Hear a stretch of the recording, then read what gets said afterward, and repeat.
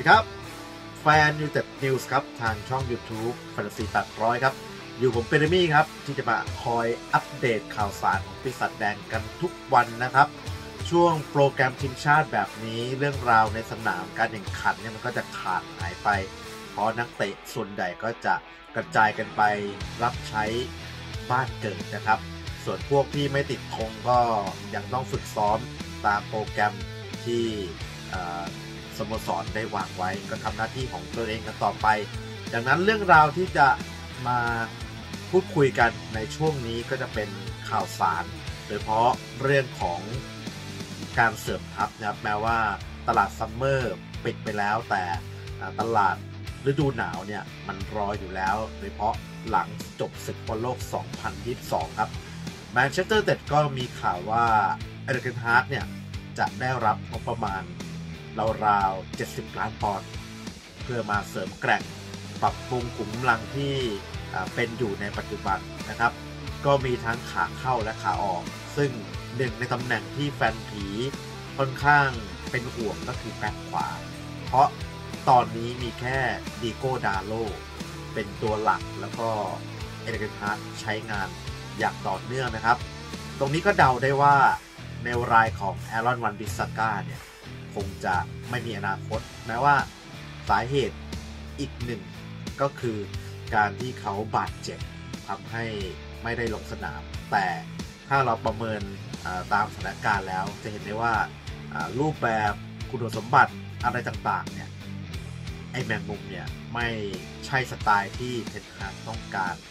โดยเกมกับเชอริฟเนี่ยในช่วงท้ายๆเนี่ยพอถอดดาโลออกไปเทนฮากก็ โยกไปเร็วมาเลเซียมาทำหน้าที่แบ็คขวาจำเป็นนะครับ ก็ถือว่าอพอถือไถไปได้ แต่มันก็ไม่ใช่สิ่งที่ดีที่สุด ถ้าเรามองไปถึงตัวจากทีมเยาวชนก็มีมาร์ค จูราโดดาวรุ่ง Spanish ครับที่เคยเป็นเด็กปั้นของบาร์เซโลนาเนี่ยคอย standby เพราะว่าถูกเรียกตัวมาฝึกซ้อมกับทีมชุดใหญ่ ถ้ามองไปในตลาดตอนนี้เนี่ยตัวเลือกมันก็มีไม่มาก ซึ่งเป้าหมายถ้าเทนฮากจะเสริมแบ็คขวาใหม่จริง มันก็คงหนีไม่พ้น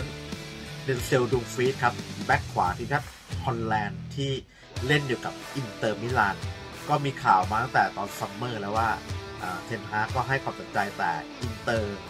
ไม่ปล่อยในราคาที่แมนยูพร้อมจ่าย มันก็เลยไม่ได้ลงเอยกัน ก็ต้องรอดูว่าในศึกฟุตบอลโลก ผลงานของดุมฟรีสเป็นอย่างไร และความเป็นไปได้เมื่อถึงตลาดมกราคมเนี่ยมันจะเป็นไปได้มากแค่ไหนนะครับ ก็ถือว่าเป็นเป้าแรก ส่วนในกรณีของโทมัสเมอริเย่ก็เป็นแบ็คขวาของบุซิตปุลครับดีกีทีมชาติเบลเชียม ก็อายุค่อนข้างเยอะครับสามสิบเอ็ดปีก็อาจจะเป็นการ ดึงมาสำหรับสัญญาระยะสั้นๆแต่ถ้าถ้าสร้างทีมระยะยาวนี่ก็ไม่ค่อยเหมาะเท่าไหร่นะครับ ตรงนี้มันมีประโยชน์นิดนึงคืออสามารถซื้อได้ง่าย ดอร์ทมุนด์ก็คงไม่ได้หวงอะไรมาก เพราะนักเตะก็อายุมากแล้วนะครับ นั่นคือ 2 ตัวเลือกในตลาดนักเตะ นอกจากนี้มันก็มีประเด็นเกี่ยวกับซานติอาโก้ อาริอัสแบ็คของ โคลัมเบีย ซึ่งเป็นนักเตะ free agentสามารถเซ็นฟรีได้เลย ก็ต้องเป็นข่าวมาหลายวันแล้วบางทีถ้ามองมาถึงการ save cost และเสริมทัพแบบปัจจุบันทันด่วนเนี่ยก็อาจจะเป็นทางเลือกที่ดีก็ได้นะครับแบ็คขวาเนี่ยยังไงก็ยังเป็นจุดที่มันยังไว้ใจไม่ได้ เพราะดาโลโอเคว่าช่วงนี้ผลงานยกระดับขึ้นมาแต่ในระยะยาวเนี่ย เกมรับเขาก็ยังไม่ชัวร์เกมรุกก็ยังมีจุดที่ต้องปรับปรุงแก้ไขนะครับ ก็เป็นตำแหน่งที่เทนฮาร์ดก็ใส่ใจในรายละเอียด เพราะเขาเคยโยกวิกตอร์ ลินเดเลิฟมาเล่นแล้วมันไม่ work นะครับ เราติดตามครับว่าแบ็คขวารายไหนเนี่ยจะอยู่ในเรดาร์ความสนใจของปีศาจแดงกันบ้างนะครับ แล้วก็รอดูว่า